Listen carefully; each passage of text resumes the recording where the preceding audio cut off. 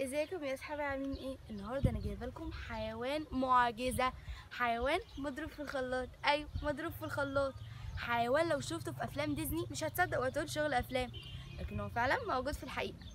وهو حيوان الأوكابي تعالوا أقول لكم بقى إزاي مضروب في الخلاط. الأوكابي عنده راس شبه راس الزرافة بالظبط وأما رجلينه فهم مخططين باللون الأبيض والأسود يعني رجلين الحمار الوحشي وعنده جسم شبه جسم الحصان.